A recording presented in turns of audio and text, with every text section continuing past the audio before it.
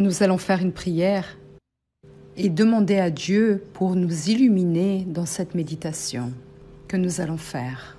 Mon Père, au nom du Seigneur Jésus, tout d'abord, mon Seigneur, je demande, mon Père, et je profite parce que beaucoup d'autres personnes sont avec moi en ce moment en prière, afin de demander au Seigneur que le Seigneur vienne illuminer les médecins qui prennent soin des personnes, mon Dieu, qui sont en train de souffrir, qui sont en train d'être victimes de cette pandémie, mon Père, que les médecins, les infirmières, ceux qui sont devant la bataille, ceux qui ne peuvent pas se donner le luxe de rester dans cette quarantaine, qui doivent aider ceux qui souffrent avec les symptômes de ce virus, mon Père. Alors que le Seigneur vienne les aider, que le Seigneur vienne les aider à prendre soin d'eux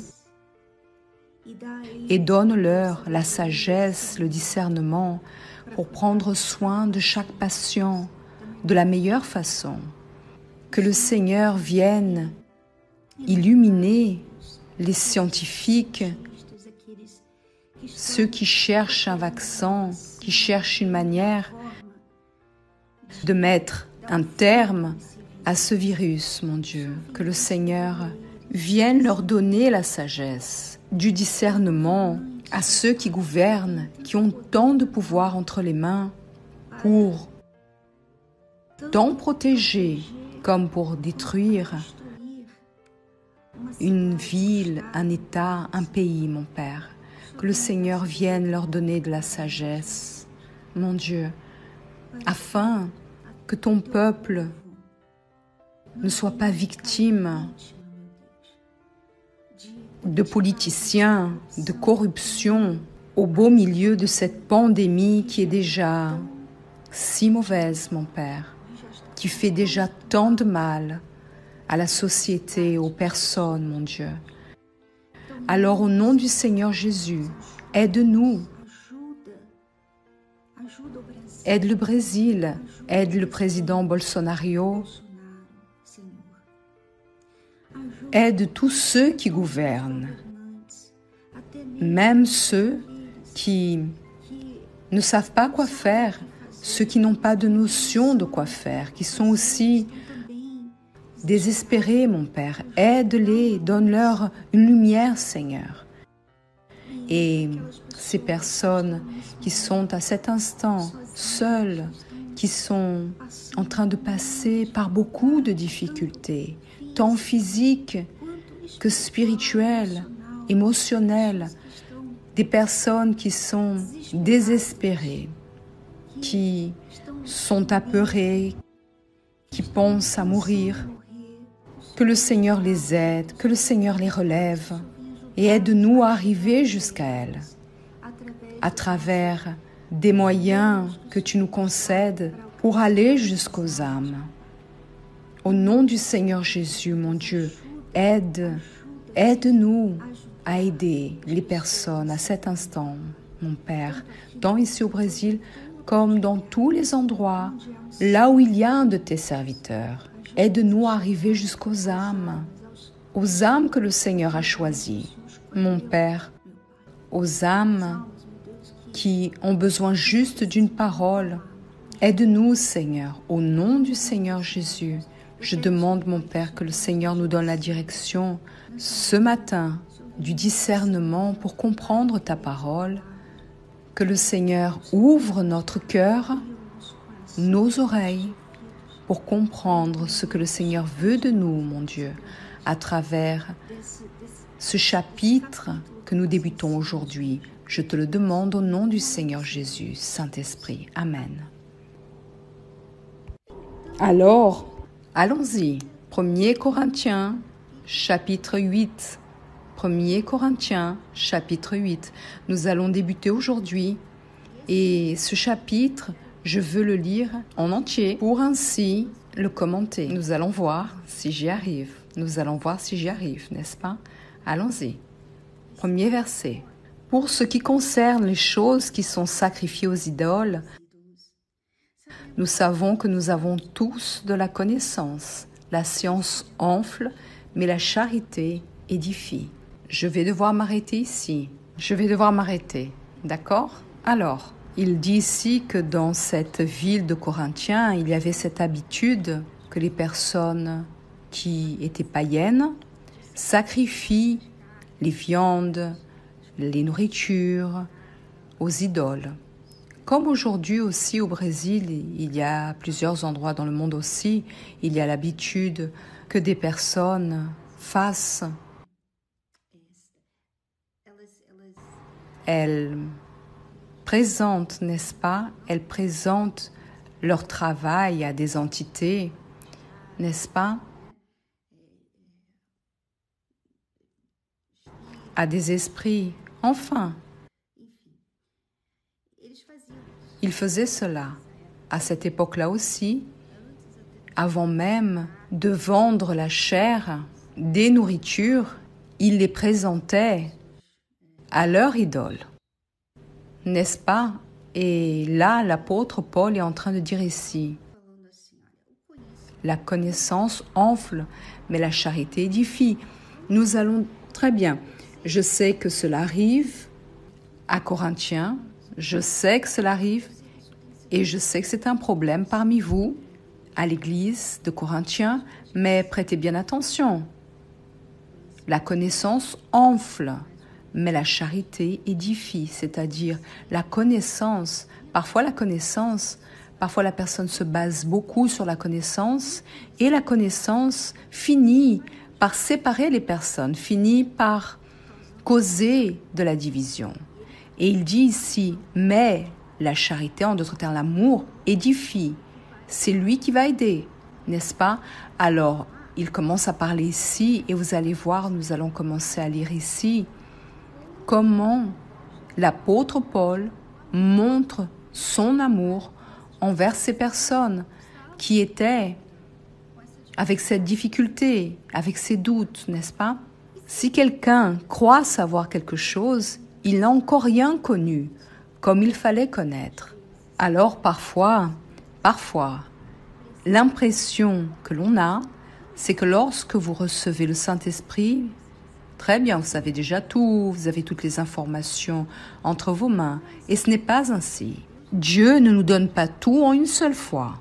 Il, il sait que nous n'avons pas de structure pour cela. Beaucoup de personnes, lorsqu'elles reçoivent le Saint-Esprit, lorsqu'elles ont parfois un titre à l'Église, elles pensent qu'elles ont déjà toutes les informations, qu'elles ont déjà tout ce dont elles ont besoin, que tout le monde a besoin d'elles. Alors, vous devez faire attention. Lorsque vous ne savez pas quelque chose, lorsque vous n'avez pas une information, et vous donnez ce que vous pensez aux personnes, eh bien vous devez dire je ne sais pas, je vais chercher à savoir. Vous devez avoir cette humilité pour dire que vous ne le savez pas. Vous êtes une ouvrière, vous êtes une épouse de pasteur, que vous avez toutes les informations du monde. Mais si quelqu'un aime Dieu, celui-là est connu de lui. Alors Dieu connaît. Il sait bien qu'il aime et qui le sert. Il sait bien. Il va donner la lumière, il va illuminer ceux qui le servent. Mais ceux qui le servent ne peuvent vouloir cette illumination, cette lumière, ce discernement pour se vanter, afin de pouvoir dire Ah, je sais, j'ai ces réponses, n'est-ce pas? En continuant au verset 4. Pour ce qui regarde donc de manger des choses sacrifiées aux idoles, nous savons qu'il n'y a point d'idole dans le monde et qu'il n'y a aucun autre Dieu qu'un seul. Car encore qu'il y ait qui soit appelé Dieu, soit au ciel, soit en la terre, comme il y a plusieurs dieux et plusieurs seigneurs, nous n'avons pourtant qu'un seul Dieu, qui est le Père, duquel sont toutes choses, et nous en lui, et un seul Seigneur Jésus-Christ, par lequel sont toutes choses, et nous par lui. Alors, il est en train de parler ici. L'apôtre Paul, je n'arrive pas à lire jusqu'à la fin. Je dois m'arriver à tout moment. Excusez-moi. Mais ici, on ne peut pas. Parce que lorsque nous sommes en train de lire, si vous ne vous arrêtez pas, si nous ne nous arrêtons pas, nous passons quelque chose que Dieu a dit à ce moment-là. Il est en train de dire ici, même s'il sacrifie les viandes, les choses aux idoles, nous ne croyons pas à ces idoles. Nous ne croyons pas à ces idoles parce que nous savons qu'il existe un seul Dieu, il existe un seul Seigneur, qui est le Seigneur Jésus-Christ. Alors, si quelqu'un a pris, je vais montrer ici mon verre de jus d'orange, n'est-ce pas? Si quelqu'un a sacrifié ou a présenté cette orange à une entité, à un idole, et je suis en train de boire le jus de cette orange. Cela ne va pas. Cette présentation ne va rien me faire. Parce qu'elle a présenté à ses idoles, cela ne veut pas dire que cette orange ici est de cette idole. Parce que cette orange, c'est Dieu qui l'a créée, n'est-ce pas? Et je ne reconnais pas la valeur de ces idoles. Je ne reconnais pas ces dieux, n'est-ce pas? Pour moi et pour vous qui êtes chrétiens, il n'existe qu'un seul Dieu. Le Dieu. Il n'existe qu'un seul Seigneur. Le Seigneur Jésus-Christ. Seul le Seigneur est Dieu. Lui seul. Alors, les personnes peuvent dire ce qu'elles veulent, faire ce qu'elles veulent, elles peuvent penser ce qu'elles veulent d'autres, croire à d'autres dieux, mais cela ne va pas changer ma, ma croyance, ni même changer ma vie. Parce que si je bois cette orange-là, et elle a été présentée à notre idole, elle, je, je ne crois pas à cette idole. Je ne crois pas à cette idole et je crois au Seigneur Jésus qui me protège, qui me garde, n'est-ce pas? Il a dit que si nous, même si nous avons été empoisonnés, rien ne peut nous survenir. Alors enfin, c'est ce qu'il dit ici. Nous n'avons pourtant qu'un seul Dieu, même s'ils sont en train de faire cela, nous n'avons pas besoin de rester apeurés. Est-ce que c'est sacrifié? Est-ce que cette orange a été présentée? Ah, ah mon Dieu, nous n'avons pas besoin de rester ainsi parce que nous savons qu'il n'existe, qu'il n'existe pas d'autre Dieu. S'il en existait un, si vous croyez, si vous croyez qu'il en existait, hein, lorsque vous croyez qu'il existe d'autres dieux, là, vous restez avec cette paranoïa. Mais lorsque vous croyez en un seul Dieu, alors, Qu'est-ce que, qu'est-ce que ces idoles peuvent faire contre nous? Et là, nous, d'ailleurs, j'aimerais commenter à ce sujet. D'ailleurs, sur ce que nous avons fini de commenter là, parce que nous sommes avec la série Le riche et Lazare. Et vous pouvez voir dans cette série comment les personnes qui croient en d'autres dieux pensent? Parce que, par exemple, Lorsque les personnes croient aux idoles, eh bien, elles ont peur d'autres. Lorsque vous croyez en un seul Dieu qui est le Seigneur Jésus, vous n'avez pas peur des autres dieux. Vous ne pensez pas aux autres. Vous ne vous préoccupez même pas des autres qu'on dit avoir, parce que vous savez qu'ils n'existent pas. Mais celui qui croit aux idoles, n'est-ce pas celui qui croit aux idoles et à d'autres divinités, alors reste avec cette peur. Ah mon Dieu, est-ce que la divinité de Christiane va me faire du mal? Si je fais, vous savez, alors on reste avec ces questions. Et c'est ce que Paul est en train de dire ici. Nous n'avons pas besoin de rester avec cette peur. Vous ne devez pas avoir peur parce que nous croyons en un seul Dieu. Il n'y a que lui. Il n'y en a pas d'autre. Alors, si il y en a un autre auquel la personne croit, il ne va pas changer, il ne va rien changer, parce que ma foi est basée sur le Dieu vivant. Alors, allons-y, au 7, au verset 7, chapitre 8, première épître aux Corinthiens. Mais il n'y a pas en tous la même connaissance, car quelques-uns qui jusqu'à présent font conscience à cause de l'idole, de manger des choses qui ont été sacrifiées à l'idole, en mangent pourtant. C'est pourquoi leur conscience étant faible, elle en est souillée. Or, la viande ne nous rend pas agréable à Dieu. Car si nous mangeons, nous n'en avons rien d'avantage. Et si nous ne mangeons moins, nous n'en avons pas moins. Mais prenez garde que cette liberté que vous avez ne soit en quelque sorte un scandale aux faibles. Alors, il dit le suivant. Voyez bien, si vous en mangez, cette orange a été présentée, n'est-ce pas, à d'autres dieux, cela ne fera aucune différence parce que vous n'y croyez pas. Mais, mais, il y a des personnes, il y a des personnes qui sont apeurés, qui sont faibles, qui sont faibles spirituellement parlant. N'est-ce pas? Ah, mais Christiane, elle va boire cette orange qui a été présentée à une entité? Alors, la personne reste scandalisée et cela l'affaiblit encore plus dans sa foi, parce que c'est une personne faible spirituellement parlant. Et vous savez, qui sont les faibles? Qui sont les faibles? Les faibles sont ceux qui n'ont pas encore le Saint-Esprit. Je sais que certaines d'entre vous qui m'écoutez n'ont pas encore le Saint-Esprit. Vous n'avez pas le Saint-Esprit par les questions que vous faites et vous-même vous dites que vous êtes encore en train de le chercher etc. Mais j'aimerais laisser ici bien clair à vous toutes, vous laisser bien clair, parce que parfois vous, vous pensez ainsi que parce que vous n'avez pas encore le Saint-Esprit, vous n'êtes pas sauvé. Ce n'est pas cela. Ce n'est pas cela.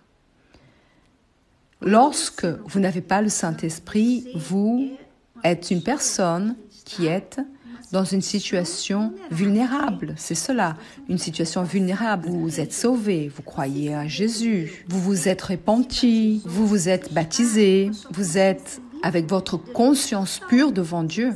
Alors vous êtes sauvé, vous êtes sauvé parce que vous croyez à Jésus. Vous l'avez comme votre Seigneur et Sauveur. Vous vous êtes repenti de vos péchés. Vous êtes sauvé, d'accord Mais pour le fait de ne pas encore avoir le Saint-Esprit, alors vous avez beaucoup de questions. Est-ce qu'on peut ceci? Est-ce qu'on peut cela? Est-ce que cela? Non, etc. Parce que vous n'avez pas l'esprit, l'esprit de Dieu en vous pour vous donner du discernement, pour vous montrer ceci vous le pouvez, cela vous ne le pouvez pas. Alors le manque du Saint-Esprit vous mène à être vulnérable, faible, de sorte que peu de choses peut vous scandaliser. Alors, par exemple, par exemple, une personne qui n'a pas le Saint-Esprit, eh bien, elle, elle reste scandalisée si elle voit, par exemple, si elle voit une ouvrière, une épouse de pasteur, fâchée un jour. Elle reste déjà scandalisée. Mais comment est-ce possible? N'est-ce pas une personne de Dieu? Elle n'a pas ce regard, ces bons yeux que le Saint-Esprit nous donne. Elle n'a pas cette compréhension, ce don. Ah, elle, elle doit être dans un mauvais jour. Elle, n'est-ce pas, la pauvre, elle doit être occupée, préoccupée. Ah mon Dieu, même je vais prier pour elle. Non, elle n'a pas cela. Ah, mais comment peut-on? Mais je n'attendais pas cela. Vous savez, la personne qui n'a pas le Saint-Esprit, elle porte la chose d'une manière très sensible, très émotive, très vulnérable dans sa foi. Alors, ces personnes sont dans l'Église, sont parmi l'Église. Cela ne signifie pas qu'elles ne font pas partie de l'Église, elles font partie de l'Église. Mais elles n'ont pas le Saint-Esprit, elles sont faibles, elles sont sensibles. Alors, c'est à vous qui avez le Saint-Esprit, à nous qui avons le Saint-Esprit, de ne pas faire attention, de les aider, d'avoir de la patience, n'est-ce pas? Et c'est ce que je vous dis. Je demande toujours de la patience parce que beaucoup écrivent et demandent et ceci et cela et autre chose. Et je dois avoir la patience parce que ces personnes, elles n'ont pas l'esprit que Dieu m'a donné, qui est le Saint-Esprit. Alors, le Saint-Esprit nous donne du discernement, il nous donne la vision, il nous donne la sagesse, il montre, il indique le chemin. Vous savez, il dit ceci, il parle directement avec nous. Il n'a pas besoin. Parfois, il utilise des personnes et parfois, il n'a pas besoin d'en utiliser. Il parle directement avec nous. Celui qui n'a pas le Saint-Esprit reste dans cette situation. Je peux, je ne peux pas. Il n'a pas ce guide. Il n'a pas ce guide. Alors c'est pourquoi c'est une personne plus faible, plus sensible. Et l'apôtre Paul dit ici que nous, qui avons le Saint-Esprit, nous ne pouvons pas utiliser cette liberté que nous avons de savoir Dieu est avec moi, je ne dois pas me préoccuper, ceci ne va pas me faire du mal. Si cela a été présenté à une entité, cela ne va pas me faire du mal parce que je n'y crois pas, mais il dit ainsi.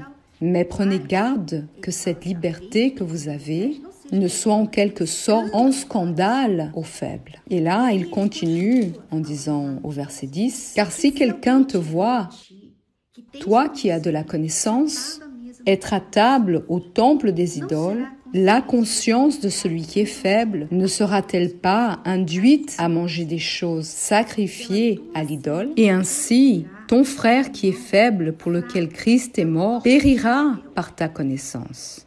Or, quand vous péchez ainsi contre vos frères et que vous laissez leur conscience qui est faible, vous péchez contre Christ. Alors il dit, vois bien, vous voyez qu'il dit nous devons faire attention à ces personnes qui sont faibles, c'est-à-dire des personnes qui n'ont pas le Saint-Esprit.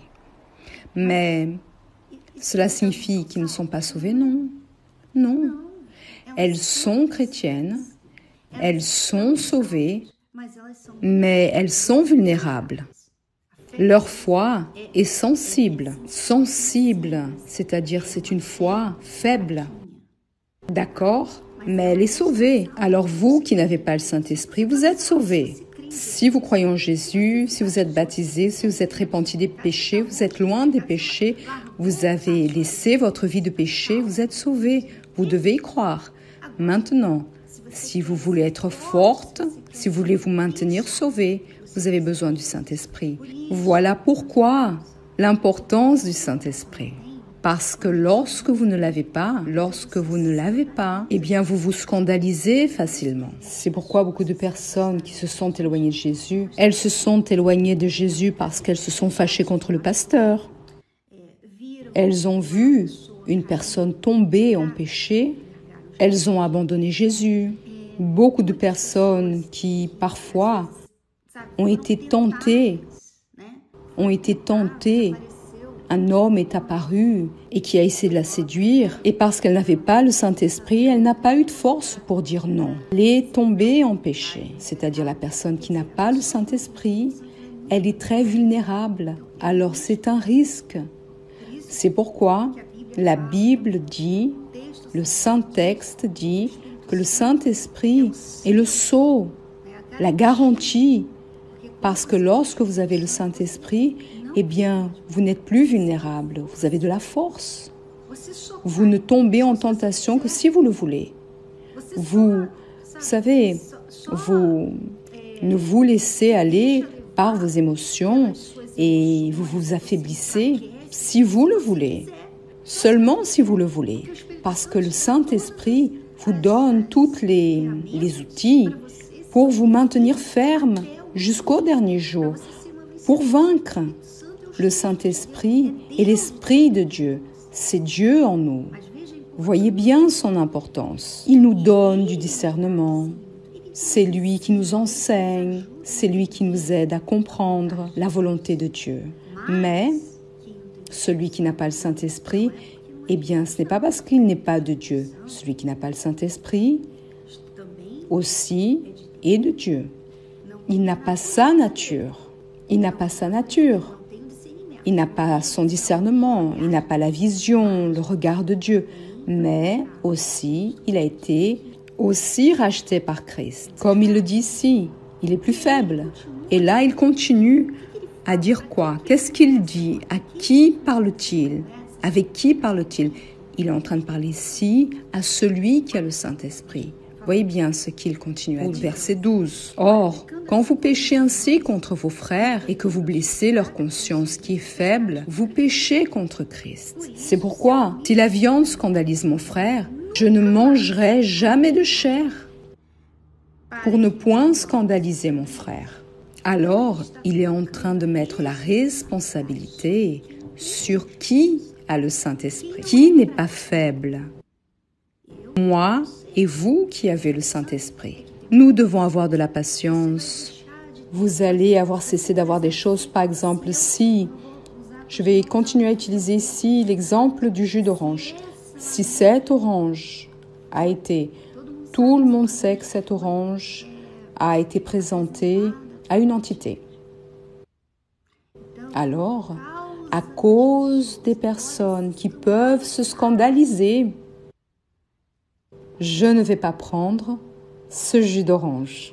Qu'est-ce qu'il dit ici? Alors voyez bien ici, voyez que c'est à nous qui, qui avons une nouvelle nature, nous qui avons l'Esprit de Dieu en nous, nous avons une responsabilité plus grande parce que nous devons penser à nous et aux autres, aux personnes autour de nous. Alors Paul dit, si, si je mange cette viande et cela va scandaliser quelqu'un, je ne vais plus en manger. Il pouvait manger cette viande parce que sa conscience ne l'accusait pas. Il n'était pas en train de pécher contre Dieu, mais à cause d'autres personnes, cela pouvait les scandaliser. Alors il a dit, plus jamais je ne vais manger de viande. Alors c'est ce qui arrive avec celui qui est de Dieu. Celui qui est de Dieu n'a pas de problème en cela, n'a aucun problème en cela. Celui qui est de Dieu, qui a le Saint-Esprit, n'a aucun problème. Si cela va scandaliser quelqu'un, si cela, vous savez, si j'ai ceci et je vais là-bas, et cela va scandaliser quelqu'un, alors je ne vais plus le faire. Je ne vais plus le faire. Il n'a pas de problème en cela parce qu'il pense à son prochain. Cette personne a de la responsabilité envers son prochain. Mais lorsque la personne n'a pas la crainte envers Dieu, lorsqu'elle ne se préoccupe même pas des âmes, qu'est-ce qu'il arrive? Elle ne se préoccupe pas. Elle fait les choses et elle ne se préoccupe pas des autres. Ah, ma conscience ne m'accuse pas, alors si cela accuse la vôtre, c'est votre problème.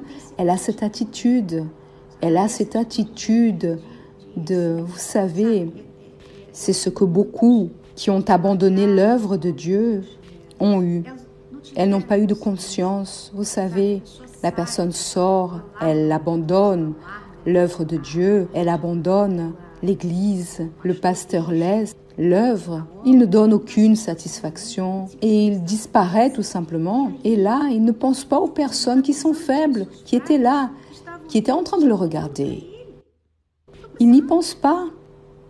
Et lorsque vous vous abandonnez votre foi, combien de personnes étaient là en train de vous regarder? Combien de personnes étaient là en train de se baser bien des fois sur votre exemple de vie, c'est-à-dire ils n'ont pas eu de considération ni envers elle, ni envers Dieu, parce que beaucoup de personnes se scandalisent en raison de ces personnes qui laissent Jésus, qui abandonnent Jésus, qui abandonnent l'œuvre de Dieu, se scandalisent. Beaucoup de personnes se scandalisent, des personnes faibles, des personnes qui n'ont pas le Saint-Esprit, elles se scandalisent. Alors il dit ici, ne faites pas cela. Ayez conscience. Ayez conscience que tout ce que vous faites, vous devez savoir ceci. J'ai la foi pour cela. Mais est-ce que cela peut scandaliser quelqu'un? Si cela peut scandaliser quelqu'un, eh bien, je ne vais pas l'avoir. Je vais sacrifier ma liberté. C'est ce qu'il a dit au verset, au verset 9 de 1 Corinthiens, chapitre 8, verset 9. Il dit ainsi, mais prenez garde que cette liberté que vous avez ne soit en quelque sorte un scandale aux faibles. Nous, nous avons de la liberté, nous pouvons, parce que nous avons le Saint-Esprit, eh bien, il nous donne de la direction, il nous donne du discernement, il nous montre ce qui est juste, ce qui est erroné, mais par amour aux personnes plus faibles qui n'ont pas le Saint-Esprit, alors, même en sachant que je peux, je ne vais pas le faire. Alors nous avons l'obligation, une responsabilité envers les autres personnes. Nous avons une responsabilité. J'ai une responsabilité très grande. Plus connue la personne est. Voyez, imaginez Paul, imaginez mon père, imaginez les évêques, les épouses d'évêques. Plus ils sont connus, plus ils ont de responsabilités, plus Dieu a donné à une personne, plus de responsabilité elle a. En d'autres termes, plus de personnes me connaissent, plus grande est ma responsabilité. Alors disons que j'ai un réseau social avec plus d'un million de personnes qui me suivent. Tout ce que je poste, tout ce que je dis, tout, tout, tout, je dois penser à ces un million de personnes qui me suivent. Voyez bien la responsabilité. Voyez bien. Alors attention, attention. Vous qui êtes une personne, vous qui avez le Saint-Esprit, vous qui craignez Dieu, alors ayez plus de conscience des personnes les plus faibles parmi nous. Dans votre quotidien, dans votre manière de vous habiller, dans votre manière de vivre, dans votre posture au sein de la maison, en dehors de la maison, dans les réseaux sociaux, principalement dans les réseaux sociaux, ce que vous commentez, ce que vous laissez là-bas, lorsque vous vous ouvrez. Attention, parce que parfois vous êtes en train de scandaliser une personne plus faible. Et là, son âme va être à votre charge. Que Dieu vous bénisse à toutes. Demain, je serai là dans la méditation à 8 heures du matin. Et j'aimerais vous dire que vous devez participer aux réunions. Aujourd'hui, nous avons la réunion à 10 heures, 15 heures, 20 heures, Aujourd'hui, ne cessez pas d'y participer, même si c'est par la télévision, par l'Internet. Ne cessez pas d'y participer, ne cessez pas d'offrir, ne laissez pas votre foi, ne laissez pas l'autel. Ce n'est pas parce que nous sommes ici en train de méditer la parole de Dieu que vous êtes déjà en train de faire tout ce que vous deviez faire dans votre vie spirituelle. Ne faites pas cela. Ne soyez pas cette personne ingrate envers Dieu et même tant soit peu délaissé spirituellement parlant. Très bien. Ceci est en plus. C'est ce que nous sommes en train de faire, est en plus de ce que nous sommes déjà en train de faire pour dans l'œuvre de Dieu et dans notre vie spirituelle. Alors, ne cessez pas de lire la parole de Dieu, ne cessez pas de faire ce que vous devez faire. Amen. Que Dieu vous bénisse à toutes et à demain à 8 heures du matin. Ciao, ciao.